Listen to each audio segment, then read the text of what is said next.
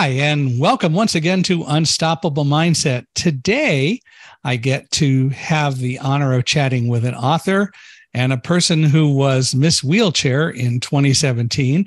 I've never met a Miss Wheelchair before, although my wife of 40 years was always in a wheelchair. So wheelchairs are not new to me, but a Miss Wheelchair is a new experience. And an author, I have written books and love to talk to people who are authors and Kat Magnoli is definitely an advocate and a very prolific person in a lot of different ways. And we're going to get to all of that. So, Kat or Katherine, whichever you prefer, whoever you are, welcome to Unstoppable Mindset. Thank you so much, Michael, for having me today. This is such an honor to be with you. And let's get it started. Ask there you any go. question you'd like. Well, we got introduced by Sheldon Lewis, who also, like I do, works at accessiBe, and Sheldon had uh, was interviewed on our podcast a long time ago. We had a great conversation, and he's been kind enough to tell us about other people like you ever since. So, well, let's start. Tell me a little bit about the early Katherine growing up, or the early Kat growing up. You know, a child, and some of the early the early stuff about Kat that we should know. Okay, well, first off, I am the youngest of seven children. I'm the only person in my family with a disability. And that was an interesting way to grow up because, you know, I was kind of sheltered. My parents were both very protective of me, but my siblings, you know, they never treated me as if I was in a wheelchair growing up. They always wanted me to be a part of the games that they were playing and they made sure that they adapted it to my needs. They they never were like oh you can't do this you know? And so i i felt very accepted in that way. And i also at the time was going to a school just for children with disabilities. So i really never experienced at a young age you know any form of bullying or discrimination or anything like that. That is until I was eight years old and I was put into the public school district um, in a small town in New York called Yorktown Heights. Ah. And they, you know, I was the only person with a disability throughout all of my schooling. And that was when I really got to see how people without a disability treated those with a treated those of us with a disability. I went through a lot of bullying, a lot of ostracizing, a lot of, you know, oh, you're a liability, so you can't come on this class trip, or you can't come on the camping trip, or not being invited to birthday parties. I actually remember this one story um, that you know, my neighbor had a birthday party and it was a pool party and I wasn't invited. And she was in my class and all my classmates were there. And so they actually saw that I lived next door and they walked over to my house. And the mother of the little girl was like, What's going on? Like, why did everyone leave? And my mom was like, Well, you didn't invite my daughter. So now her classmates are coming to say hello. And the mother tried to fix the situation by inviting me. And my mom was like, nope, like you're not going. So that's one of the the stories that I like to tell because it shows how great of a mom I have. And speaking of my mom, I just want to tell you this one other story about her. You know, as I said, I grew up in a large family and I was the only one with a disability in my family. And I asked her why that was. Mm. And she told me this beautiful story about the spine being like a magical tree. And she told me that it had these little magical leaves called nerves that help you move your arms and legs. And I'm missing some of my magical leaves. But then she went on to say that even though I can't walk, that I can do anything else that I put my mind to. So that just gives you a little bit of a glimpse of the good and the bad of my earlier years. So, to skip around a little bit, Um, sure. I don't know how long ago. How long ago was that roughly? That may be giving away your age, but I'll ask anyway. How long ago was which one? Well, um, so the birthday just, party story. So let me do it this way. How old are you? I am 39 years old. Okay. Okay. Great. Yeah. So so now so the birthday party and all that stuff took place roughly 30 years ago. Thir- about 30 years ago. Yeah. Okay. So here's here's the question. Do you think that that kind of behavior would still be exhibited today? Um I can't speak for all parents, um, so I don't know. But I can say this I think that there's a really wonderful movement going on in society where the media and literature and all that is really starting to embrace the disability community more than they did, let's say, 30 years ago. Mm-hmm. So I think that there's more education about the disability community out there. And I think that that's helping make bullying maybe less, hopefully. I mean, I, I don't know. I can't really say. Yeah. You know, I think things, from my perspective, I think things are better, but, and the but is that it's all about education. and there are a lot of people who still really haven't decided that disabilities are not something that makes us less than they are. And so it does depend on the individual. I think that there has been some progress, but we have, I think, a long way to go. Yes, I agree.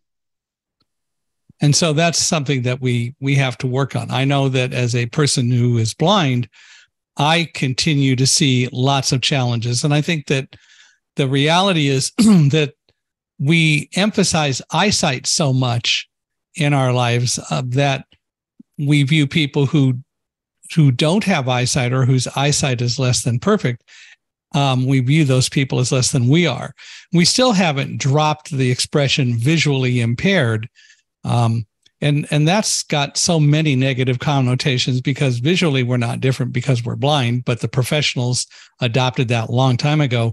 And we continue to see impaired. Well we're not impaired. You know you're not mobility impaired. You use a wheelchair you're in a wheelchair.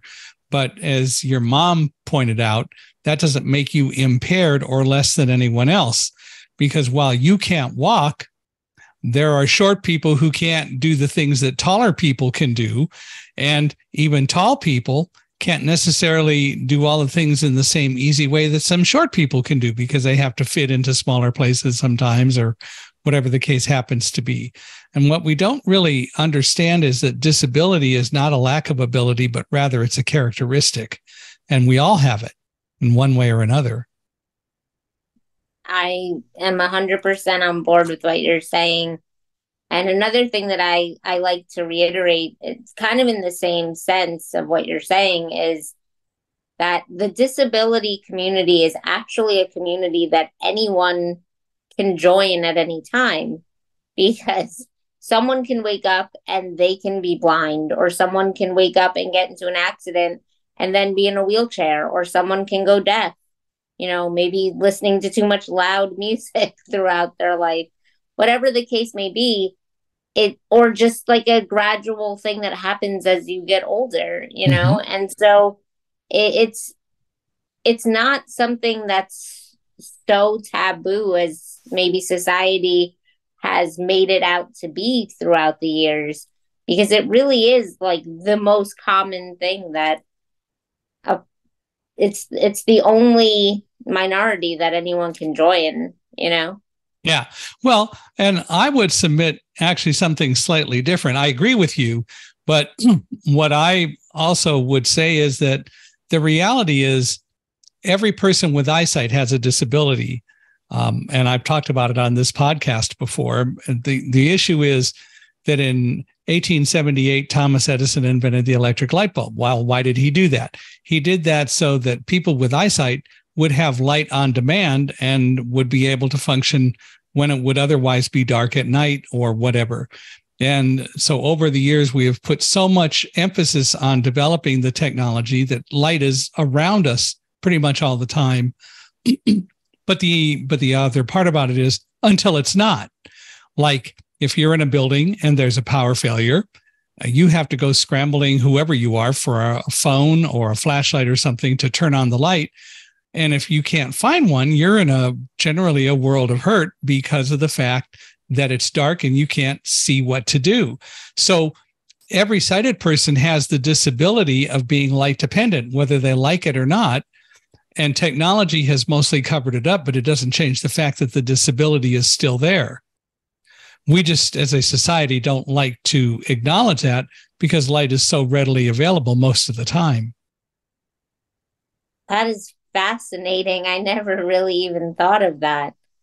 Um i definitely that wow that's amazing. See that proves my point that you don't even have to go through an accident or anything that i just mentioned like just take away something that helps you enhance that sense and that sense is no longer there. So it, it's it's really interesting what you just said i'm i'm fascinated by it we've got to get to the point where we recognize that disability does not mean a lack of ability you know yeah. people say well but disability starts with dis well so does discretion. So does it mean a lack of cretion, whatever that is, or you know, any number of things. Dis doesn't need to be a negative term. And we've yeah. got to grow up to recognize that as a as a society. And I understand that people with eyesight do have advantages in some ways because the world has been created around what they have access to that a lot of us don't, but that doesn't mean that we're less than they um, whether it's being no. in a wheelchair or whatever. Of course, of course, a hundred percent. And actually, just to keep going on this hmm. topic for a second, I read an amazing book called No Pity. I don't know if you've ever heard of it. And no, I haven't, but that's okay. Go ahead. One of the things that they stress in the story, in the it's not really a story, it's actually like a it's a book that talks about the entire history of the disability uh, rights movement. And one of the things that they stress in it is that disability no longer exists when you make things accessible to us. So for right. example, me, if if there's a ramp and there's a button for the door, I no longer have a disability because I can get into any building if mm-hmm. those things make it accessible for me.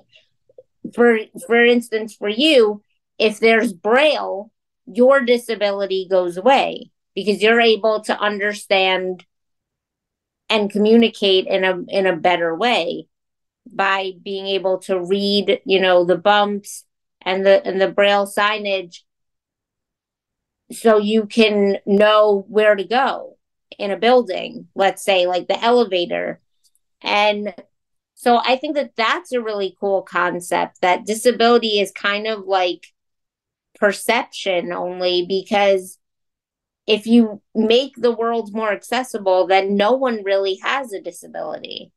Like that's the flip side of it all. And that's the real point, right? Yeah. Yeah, and it's and it's that way. So, are you a quadriplegic or a paraplegic? paraplegic. So so you uh so you can hit people upside the head if they uh start getting too insulting about people with disabilities, right? We'll leave it to you. I try to be very nice and to educate first. yeah. But if they don't listen, then I might have to run over a toe or two. My wife when sometimes we've gone to places even like Disneyland, although it's been a while, got so very frustrated because being in a chair, and she also was a para. Um, we could be talking and sitting somewhere or just walking along and people just jump over the footrests rather than having the consideration to walk around because they're in such a hurry to get somewhere. People are people are amazing. Yeah yeah. I that's one of my biggest pet peeves. Another one is people just wheeling me up a ramp, like as I'm wheeling, and then someone, a total stranger, will come up behind me and think that they're doing a kind gesture. Yeah. And just start pushing me up the ramp. And it scare it startles me, you know, it scares me. So I always flip it out, you know, to the other side where I'm like, how would someone feel if I just like started pushing them on their backside and like telling them to essentially walk faster? You know, like that's not very nice. I wouldn't be able to do that. I'd probably get arrested if I did that because you can't just put your hands on someone's backside and start pushing yeah. them. Yeah. So it's the same concept. People think that they're doing something nice or that they're, you know, you know, not bothering us by like asking us to move over or whatever. I'd rather you say excuse me than push me or jump over me. You know, or, I'd rather you acknowledge me and be like, "Excuse me, I need to get through." Like or, that's the kind way to do it. Or um do you need help? I'd be glad to push you up the, the ramp if you would like. I mean, but the yes. point is to ask. Exactly. The point is to ask. It's really not that hard. no, it's not that hard at all. So I'm curious, um, what do you think of the truncated domes, all the the the dots that go across uh, driveways and so on to warn people when you're at the bottom of a of a ramp or or going into a street? They've put those out saying blind people need to have those warnings and so on. What do you think of that as a person in a wheelchair? Well, let me say this. If it is good for people with blindness, then I think it's necessary. However, for a person with a disability, again, it can be kind of a hazard almost, I will say, because let's say one of my wheels, you know, gets stuck in between one of the bumps, I could fall forward. Mm-hmm. Like if it's a poorly made um structure. You know, I could fall forward. So for me, it can sometimes be a hazard, and it has been in the past. However, if it's good for people with blindness, then I'm all for it and I'm accepting of it. And that's all that I'm going to say about it. The the place where it becomes valuable is not so much on ramps or even um, in train stations because if a blind person is using a cane properly, they will be able to detect the edge of a um, a train, well, of a train track, or if the tracks are dropped down, like in a lot of subway stations or whatever. Um, the the comment is, well, you have to have it so blind people know that they're coming to the edge. That's what the cane does. Although a lot of people don't necessarily use their canes well, so the compromise was to put those those dots in. But I know my wife hated them because it just shook her violently every time we went over them. Yeah, I definitely have noticed with my friends who have spinal cord injury that tend to have spasms below the waist that it does trigger, you know. Well, for her, it more shook her neck, and, and it's very sad, you know. Yeah, well, it's it's it's one of those things that that um, there are places where where they can help if you've got a very flat curb, not even a curb cut or a ramp, but it's such a gradual ramp down that you don't really notice it, and the curb is or the entrance to the street is flat, so that you don't really have a noticeable debarkation between the sidewalk and the street. There's a place where it's relevant to put something, but yeah, it's it's interesting. Everyone has different challenges and um, some people love the, the the dots, and some people don't. And it's always a matter of trying to figure out the best way to make it as accessible and usable by the most or by most everyone. And people have to adopt and adapt to different ways of doing stuff. Well, I'm actually going to flip the question and ask you something now, if that's okay. Oh, sure. This is a conversation. what is your opinion about ramps as a person who's blind? Does it hinder you or help you in any kind of way? If or does it not affect you at all? Well, if it's a ramp, that's why I mentioned the very flat curbs. So from from my perspectives, I can go either way, ramps or stairs. However, um, it is my belief that ramps are very important. So I don't mind at all having ramps, but I don't believe that ramps enhance my ability to walk around because I'll use a cane or a guide dog and I will go where I need to go. And if there's a ramp, it's fine. If there are stairs, that's fine. And I realize that stairs generally take up less room than ramps. But having been married to a lady in a wheelchair for 40 years, I totally value ramps and have never had a problem with ramps. So ramps don't bother me at all. Okay, that's interesting. So, um, and I am a firm believer that that ramps need to be available, not just in the back of a building or whatever, but they should be readily available so that people in chairs or people who need ramps, um, people with strollers, just older people can walk in the front entrance of a building just as easily as as I can, even though I can walk up the stairs. So I'm fine with ramps. Okay, well, thank you. That that's very interesting to hear. So it is uh, kind of one of the things that uh, that we we all do deal with, but uh, I think I'm what I'm really surprised at is, and we watched we watched. My wife passed away last November, so it's just me now. But as I tell people, oh. she's up there somewhere, and if I misbehave, I'm going to hear about it. So I got to be a nice guy. Oh, well, I'm so sorry for your loss. Well, it's been 40 years. And as I say, the spirit sometimes moves faster than the body, and her body just finally kind of gave out. And uh, it is what we have to deal with. But, you know, the, the, other the other side of that is that um you know i learned a lot from her and having 40 years of memories and marriage is is a good thing and yeah. uh, it it it helped broaden perspectives in a lot of different ways. So I certainly have no complaints about it. That is so beautiful. Oh my goodness. You're going to make me cry. oh. Well, like I said, she is somewhere. And if I misbehave, I'm going to hear about it. So I will, uh, I will continue to just be a, a, a decent person and behave well. That's all we, that's all that all of us can do. Yeah, that's Hopefully. about all there is, right?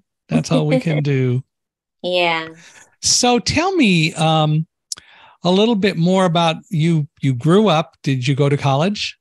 Yes, I did. I actually got my AA degree, my associate's in arts degree for exceptional student education. I really wanted to be a teacher for children with disabilities However, due to my health, that ended up not being the case. Um, but I still have my degree, which is great.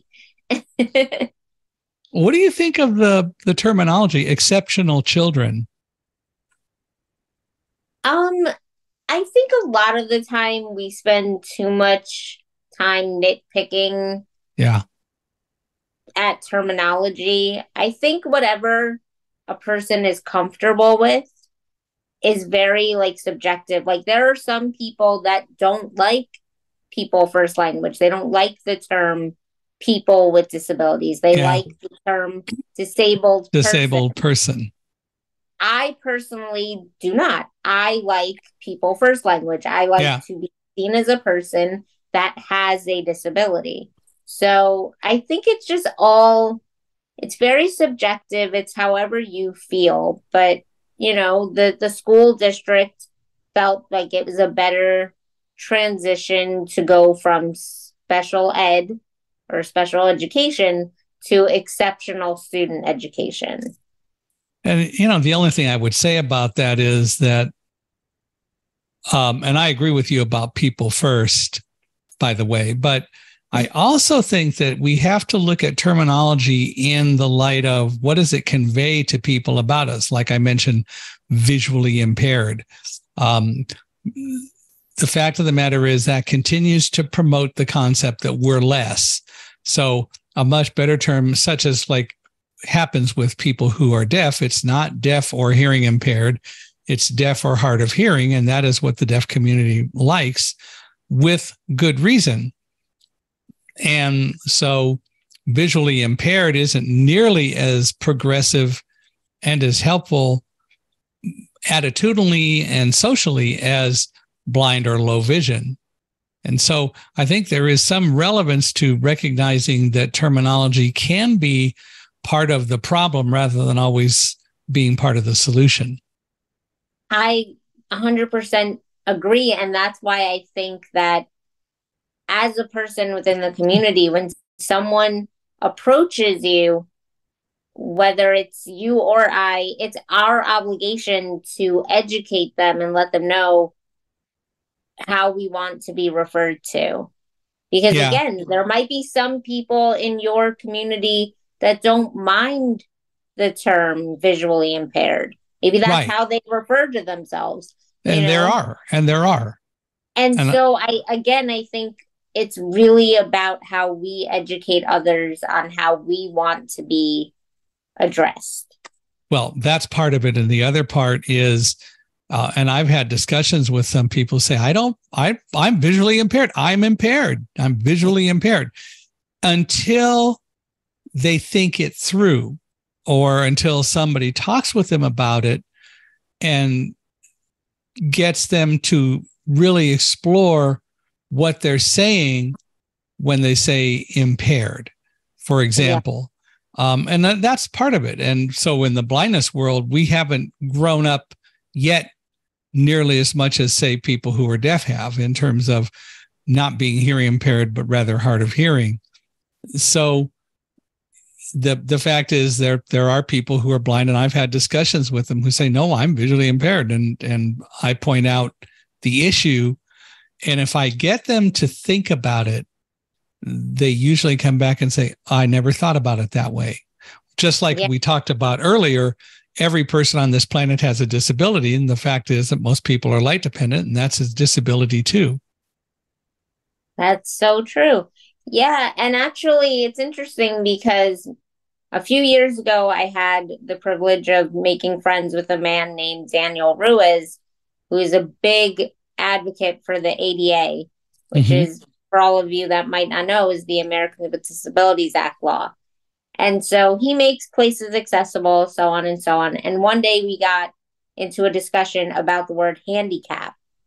And I never knew what that term actually means. And I don't know if you know either. Maybe you do.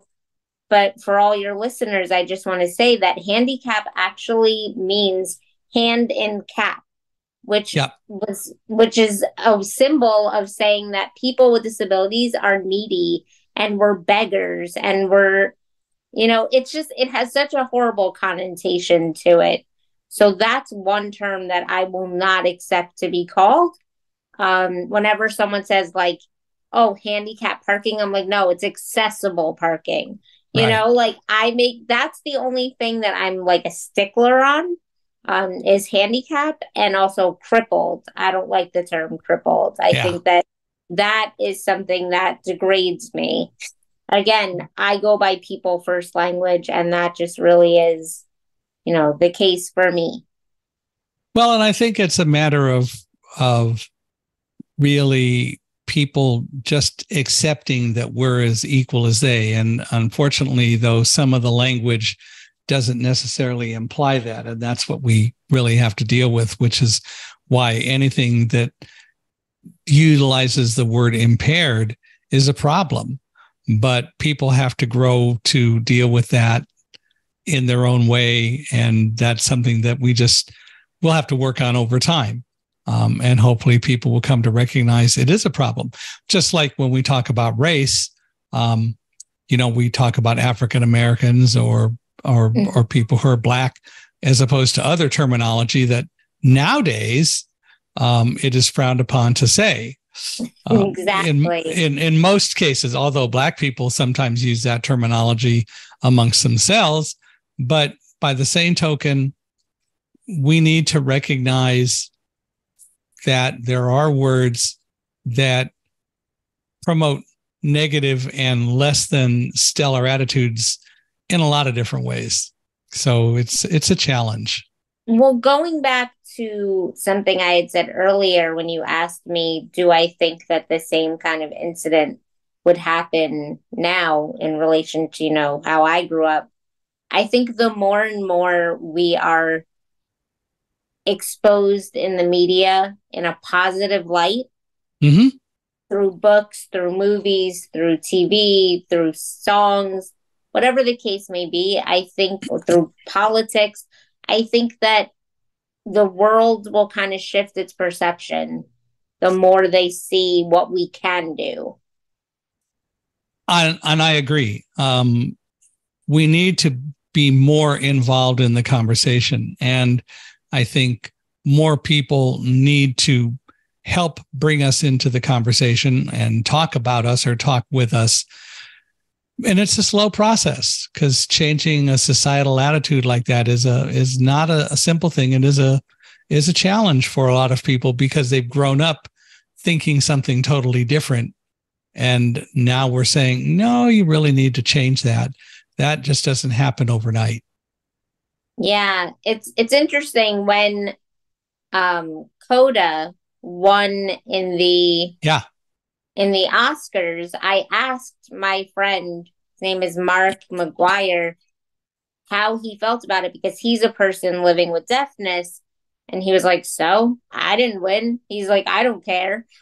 Like, so I thought it was like such a tremendous thing. Yeah, me too. For the disability community. And someone living with deafness was like, Okay. You know, like he didn't he didn't acknowledge it as like this huge thing as maybe I did. Well, um, but I, I spoke interesting. I spoke at a conference later that same year, um, um, a conference on inclusion here in California for one of the county departments of education, and um, had an occasion to interact with several people who are very active in the deaf community. And of course, needless to say, they loved it. So, yeah, it's different for different people. Yeah, exactly. So you got an AA degree, and then what did you go off and do with yourself? And then, like I mentioned, my my health kind of took a turn for the worse. I had developed kidney failure and was on dialysis. Oh gosh. And this was actually during the time that I was still going to school. So when you're studying to be a teacher, you have to do what's called clinical hours, which means that you go into a school and you kind of shadow the teacher and you learn from her by interacting with the kids, grading papers, doing things like that. And one of the places that I did this was at a school called Kesher LD, which is a school for children within the autism spectrum and other learning disabilities.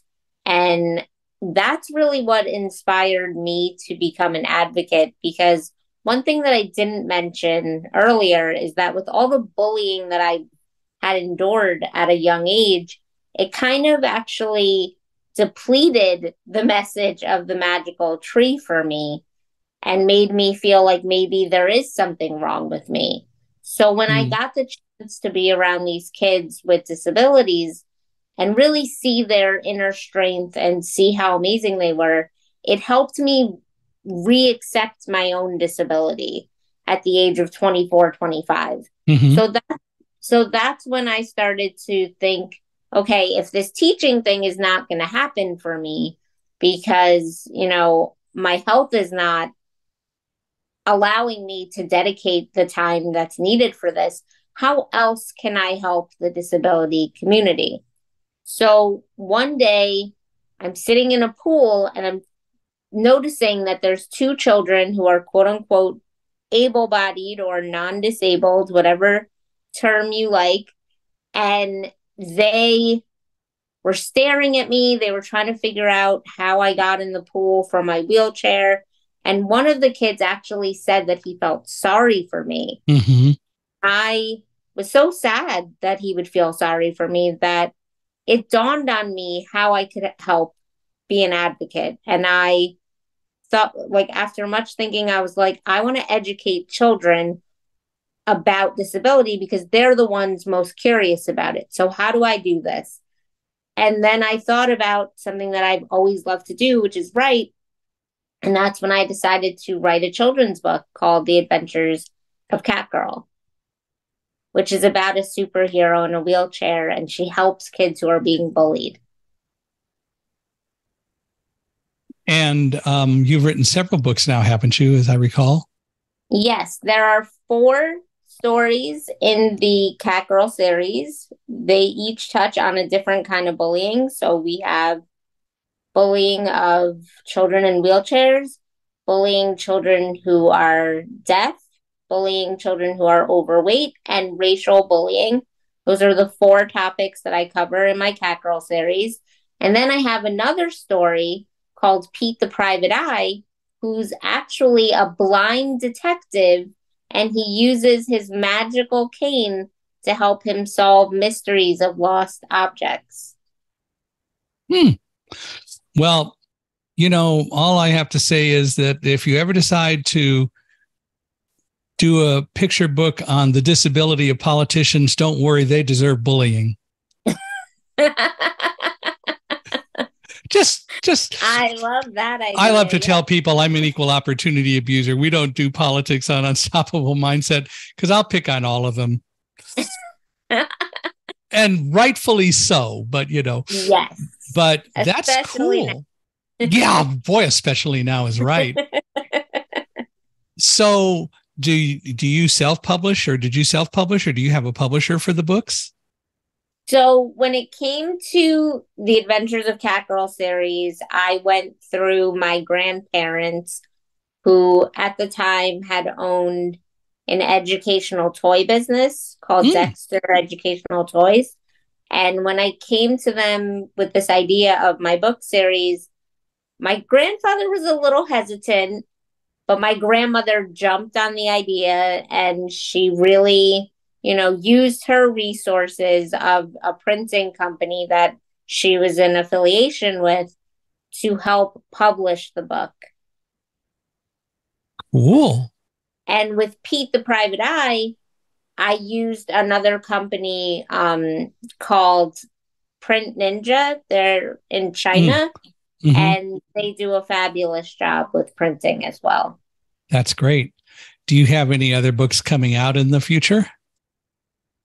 I hope so. I do have a lot of ideas. I have some crossover stories of KatGirl and Pete that I really would love to, you know, have them meet in a story and work together and use both her magical wheelchair and his magic cane and just kind of have fun, you know, maybe finding lost items for bullies. well, there you go. that could be the crossover story.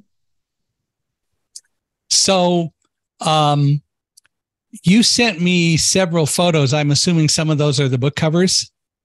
Yes, there. Oh, I did send you one photo that has all four KatGirl book covers plus the KatGirl puppet.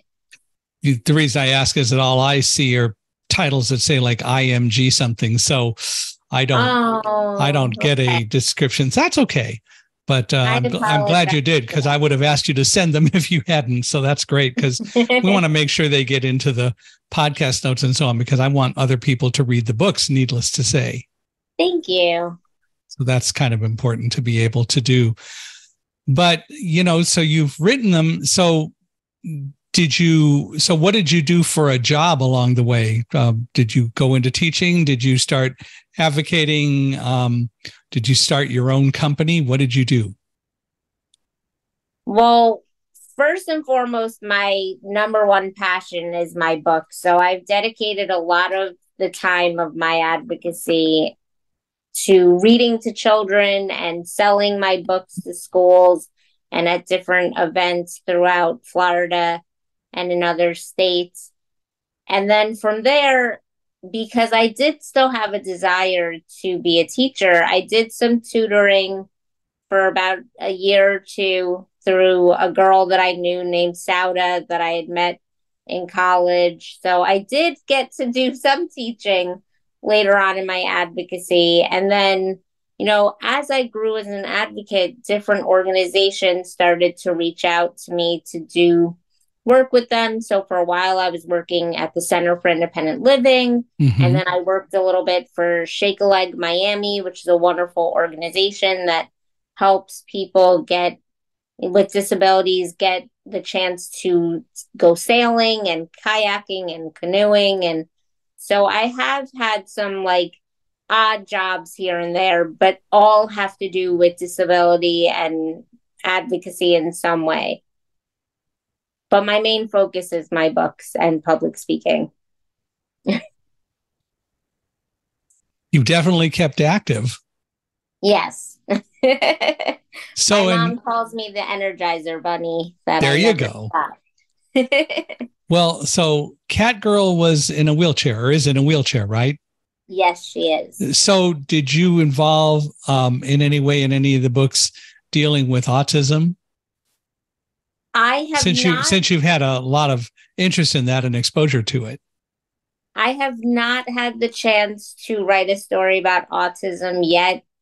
I really want because the children that started my journey into advocacy do fall into the autism spectrum. I want to be as sensitive and correct with it as possible. Mm-hmm. So I want to do more research and make sure that I do that community the justice that it deserves when I write about it. We've come a long way with autism. I know I've talked to several people on the podcast here who discovered that they were on, as they say, the autism autism spectrum, but they discovered it in their 30s and in their 40s because we just didn't really know enough about it earlier on to mm-hmm. recognize it and diagnose. Yeah, yeah, and to be honest, you know, sometimes parents are hesitant, even if there are clear as day signs, you know, um, a, that their child is in the autism spectrum. Sometimes parents can be hesitant to get that diagnosed, and then the person will make that decision later on in life to finally get the the test that helps them, you know, be diagnosed. Right. Um, or it just never came up and they never, no one ever thought about it. But yeah, it, it is a challenge. And I think that that's, you bring up a good point in general that a lot of times parents of children with disabilities don't really want to necessarily deal with it either. And it's mostly because they haven't themselves become educated.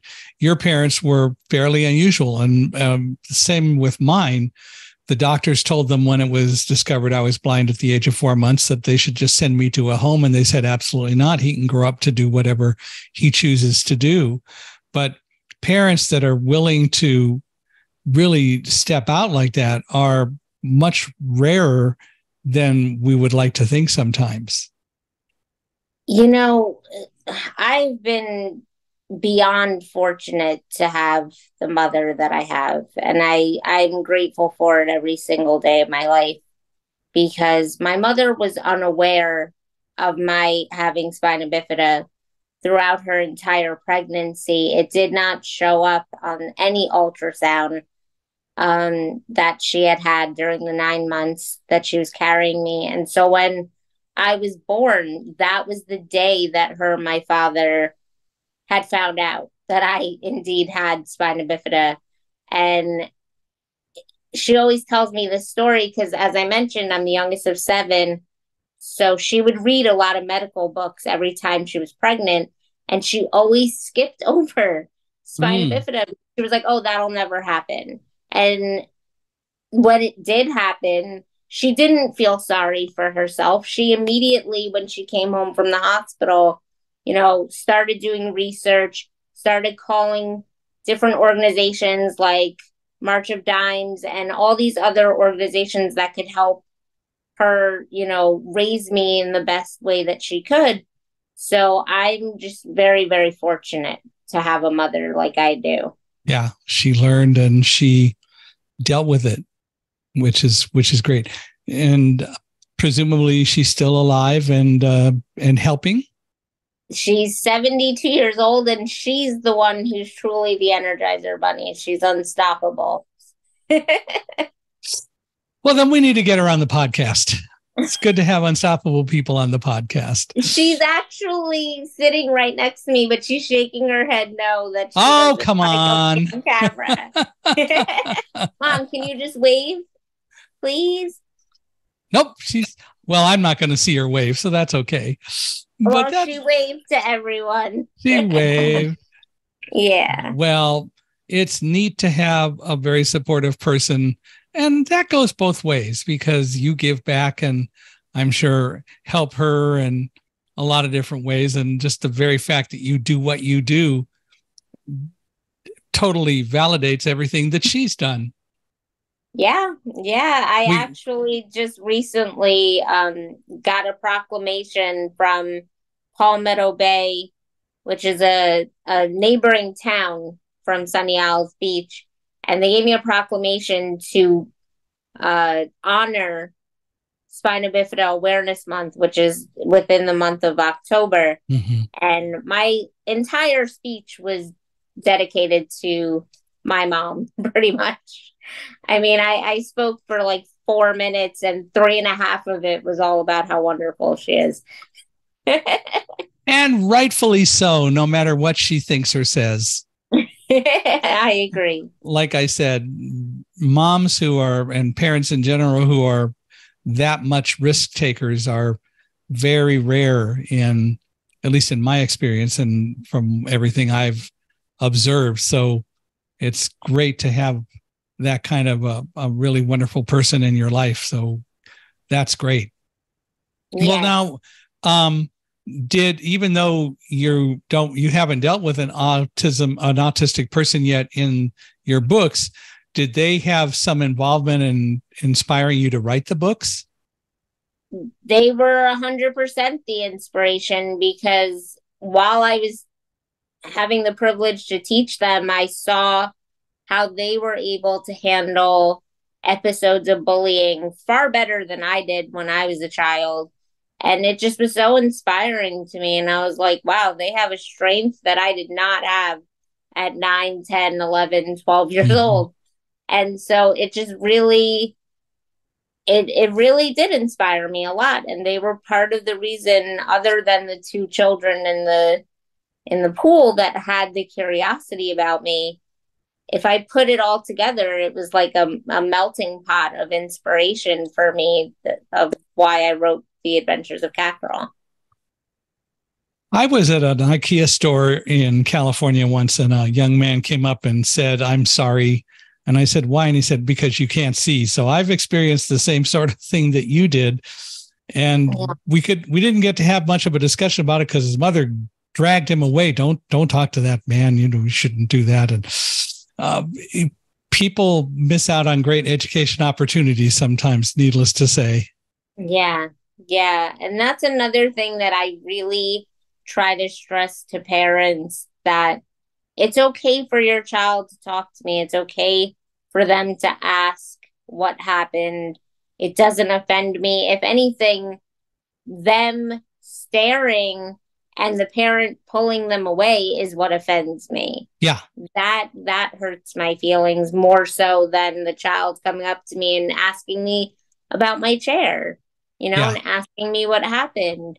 I would much rather that. And so I've actually gotten into the habit of do you mind like asking the parent, do you mind if I tell your daughter or your son what happened? They seem to be interested in my chair. Yeah. And um, you know, I I experience a lot of that or um and sometimes actually promote it to get conversations started. Um, a lot of times I'll be walking somewhere with uh, with my guide dog, and parents say, "Oh, don't don't don't go up to that man. The dog might bite you and all that." And I'll stop, and I'll almost block their way and say, "Let me let me talk to you about what guide dogs are," and then I'll also take the harness off, which is the thing that the dogs love the most because then they know they're not working, and the last thing they want to do is to avoid getting attention, especially from kids. So yeah. we get lots of opportunities. And when I go to speak to schools. it's always fun after the speech to take the harness off and let the kids come up. And the dogs have figured out that if they lay down and stretch out every which way they can, as far as they can, and maximize petting space, they'll get more kids to pay attention to them and they love it. Oh, that's so cool. Yeah, they they enjoy it a lot. So it's it's fun to do. That's wonderful. So do you now you've you've started your own organizations to help with advocacy, right? Yes, I within the last two and a half years started KatGirl and Friends Inc. It is a 501c3 that just helps educate people about the importance of inclusion through literature and my public speaking. And it just gives me a chance to reach a larger audience. How far have you traveled to be involved in doing speeches and do public speaking? I actually went to the American Association School for Children Who Are Deaf, hmm. and that was in Atlanta and it was really really amazing. It was such an incredible experience. All the kids were signing their questions to me which unfortunately i don't know sign language so there was an interpreter there but it was just such an amazing experience that i never forgot and i'm so grateful to have done. And i also got to go to new york where unfortunately i couldn't be at the school because it was during like covid regulations mm. still. But i did a zoom session for a school in the district that i grew up in which is putnam valley school district. Um, so that was really cool to be able to do. And i've actually done that two times since then um, where i've done zoom sessions for them. So I've been able to reach different schools in different um, states as well as make a pretty good impact in in my community as well.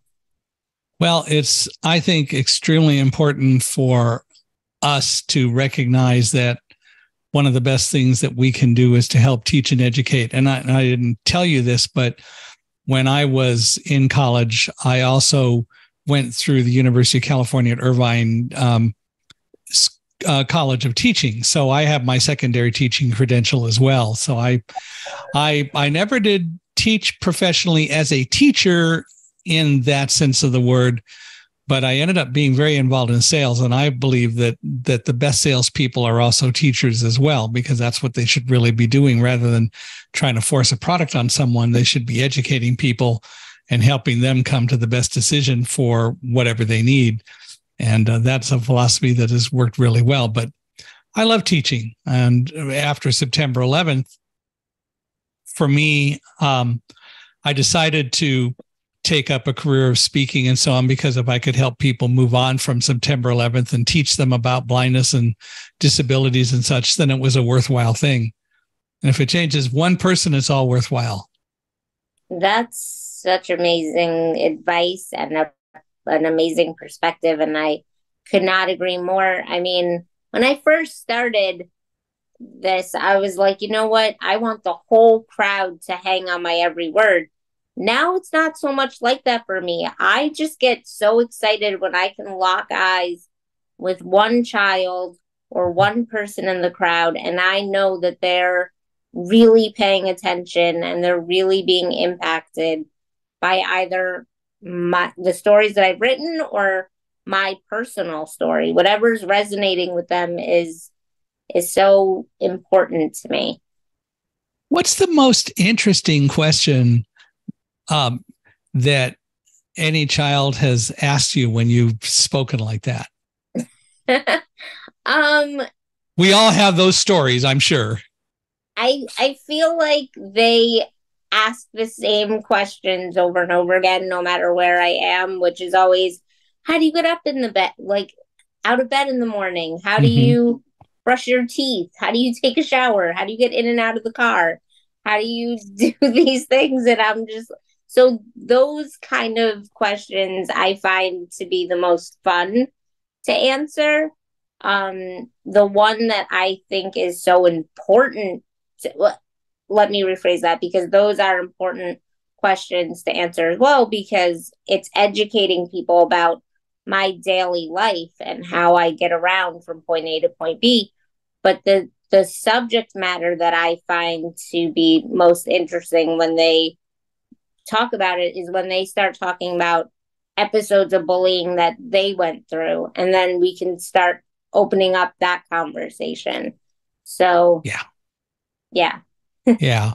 Well, um and it and it's fun. I love speaking to children because they are uninhibited and they don't hesitate to ask questions once you start getting them engaged at all. They will they will ask anything. And if we, can have a a session and the parents aren't around it really works out a whole lot better because they will they will become engaged and they'll ask questions. I remember and i've talked about it here a couple of times I, I spoke to a um, an elementary school, and this third grade boy got up after I spoke because I opened it for questions, and his question was, "How do blind people have sex?"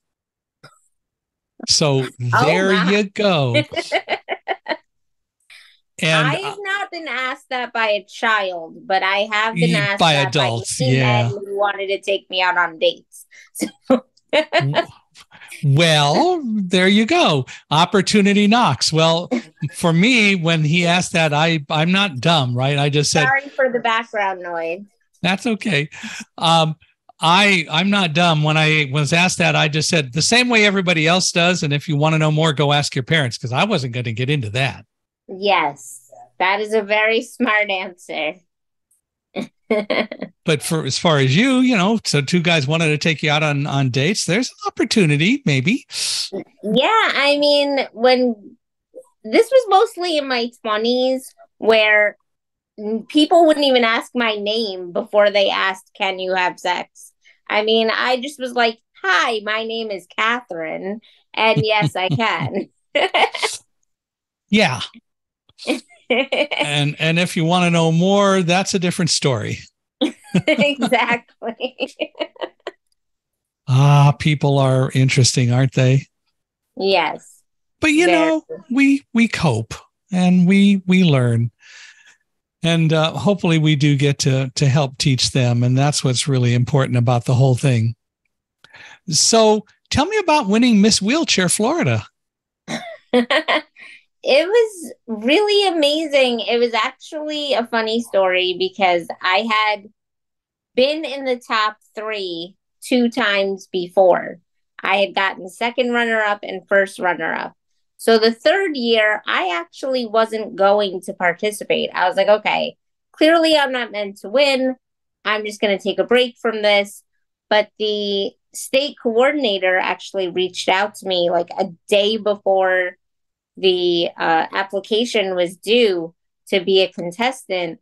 And she was like, Why haven't I received your application? I'm like, Oh, because I'm not doing it this year. She's like, Yes, you are. You have to do it. so I was like, All right, fine. I'll do it. But if I lose again, like I'm never doing it again. So so I ended up going and it's an amazing weekend um, where girls with all different physical disabilities come together and we do workshops we do you know judging. It's just so amazing. Um and so i was really happy to be a part of it again. But i went into it not thinking that i was going to win or place in the top 3 or anything like that. So i went in with a different perspective of just enjoying the moment and that's interesting because I ended up enjoying it so much that I ended up mis- messing up my speech. And so I really thought I wasn't going to win. So when they announced the, you know, second runner up and first runner up, and I wasn't called, I was like, okay, I didn't make it even to the top three. So when they said my name, my mouth dropped and I started crying for like a good five minutes. And I was trying to speak because they handed me the microphone, and I honestly couldn't even tell you what I said because I was that shocked for winning. And before they said my name, I actually looked at my mom in the crowd and I shook my head no it's not me. And at the same time, one of the judges was looking up at me and she was shaking her head like, Yes, it is you. And I was just so confused as to why she was smiling at me and shaking her head. So it, it was just an interesting uh, situation. And then when I did win, I got to meet the governor, uh, the former governor, Rick Scott. I got to work alongside the mayor of Sunny Isles and the mayor of Bal Harbour, which is another town, and get more beaches accessible in my area. I got to work with the school district, which is Miami Dade School District, to have activities for Disability Awareness Month and Inclusion Week. I had a podcast. So it was a really, really busy time for me and it was a lot of fun. I also got to do a lot of adventurous things like go to iFly, which is indoor skydiving. And I got to, you know, just do some really memorable things. So, did you do the indoor skydiving? Yes, I did. I would like to do that. I've never done it. I'm going to have to go do it some. I would love to do that. Yeah, it's it's really really cool. It's a very interesting simulation of what skydiving would be like. Mm-hmm. Yeah, I would like to do it sometime. I'll have to to work that out. Well, so what's next for you? What are you doing? What are your plans and where are you headed? What's your oh, wow. mindset in the world? Well, currently I'm doing a lot of things. It is Disability Awareness Month and Spina right. Bifida Awareness Month. So I've been making a lot of videos on social media, just talking about basically what we're talking about right now, which is all that we can do. So that's number one. That's that's part of what I'm doing. I'm also doing a lot of different events for my books um, to have more of an outreach for them I am part of the Christopher Reeve Foundation, where I'm a regional champion for them, which means that I speak to senators within my state about different laws that the Christopher Reeve Foundation is trying to get past. So that's that's basically what I'm doing. I'm also um, in addition to it being Disability Awareness Month and Spina Bifida Awareness Month, it's also Domestic Violence Awareness Month, which, for whoever does not know, people with disabilities are three times as likely to be victims of any kind of abuse.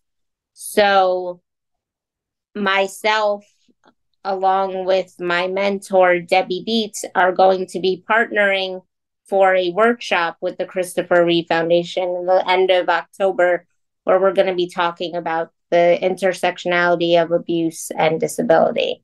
Wow. So you're definitely keeping busy, no doubt about it.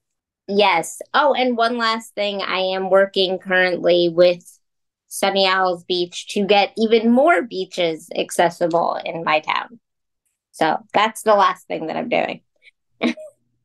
well, just one more thing, right?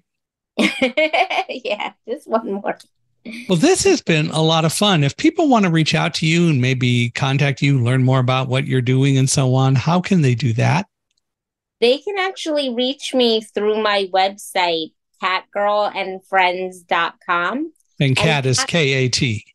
Yes, cat, cat is K A T, girl is G I R L and is spelled just as we know, A N D, friends, F R I E N D S dot com.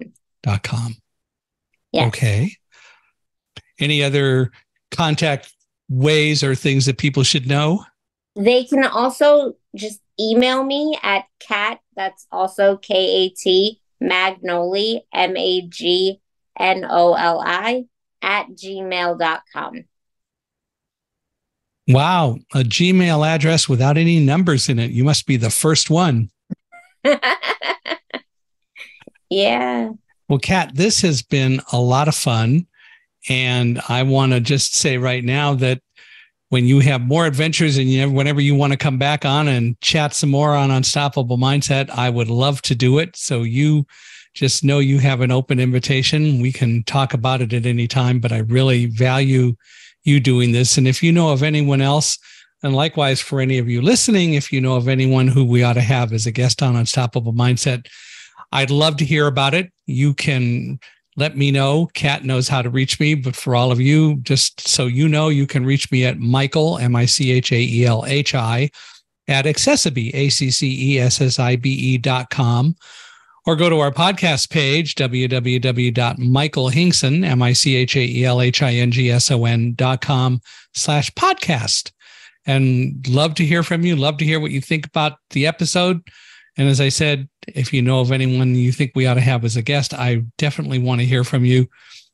We would appreciate you giving us a five star rating. We value your ratings very highly and really hope that you liked the podcast enough to do that. So once once more, I want to thank you, Kat, for being here. I'm sorry, you were going to say? No, I was going to say thank you so much for having me. This has been such an amazing conversation. And I can think of so many people that I know who are advocates that would really shine on your show, um, really have such incredible stories to share. So I will be reaching out to some of them and encouraging them to reach out to you um, because I think that we all should come together and work together and share stories. I think that's the real way to educate and and build inclusion for the for the world. Um, last question that I have: When will this be airing? Um, it's going to be a little while yet because we've got a, a, number of podcasts that are out there, but we'll definitely be sending you an email unless there's some need for you to, have it um, airing at a particular time. But it'll be a little while yet, but we'll keep you posted. Okay, great. Thank you so much. And I hope you guys have a great night.